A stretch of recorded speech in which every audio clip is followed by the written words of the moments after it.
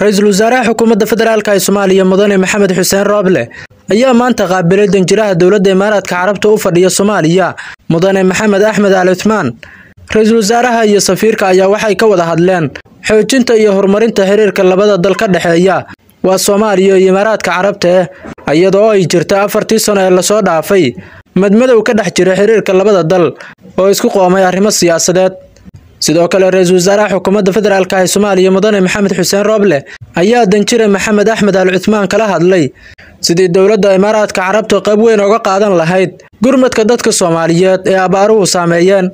Danjiraha dowladda imaaraadka carabta u fadhiya soomaaliya mudane maxamed axmed al cuthmaan ayaa u mahad celiyey ra'iisul wasaaraha xukuumadda federaalk ee soomaaliya sida uu u qaabilay isagoona u caddeeyey inay sii wadi doonaan dadaalkooda ku aadan xaluhulidda mushkilada ka dhex taagan soomaaliya.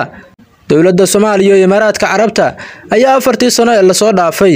Waxaa madmadow badan uu ka dhex jiray xiriirka labada dal iyadoo ay taasi keentay inay dowladda imaaraadka carabta ay joojiso mashaariicda ay ka fuli jirtay soomaaliya. Axmed maxamed xuseen san t v muqdisho abka dahab blas iyo casriyeynta adeegyada shirkadda dahab shell. Dahab blas oo kuu fudaydinaya islamarkaasina kuu koobaya dhammaanba baahiyaha adeeg ee edahab dahabbay iyo adeegyada shirkadda somtel mar kasta iyo mar kastaba ku isticmaal aplicathonka dahab blas hadal oo hadal oo hadal oo ku hadal. Bishii oo dhan toddoba dollar. oo keliya. Ku darso fariin kasta oo aad dirtaana waa kuu bilaash.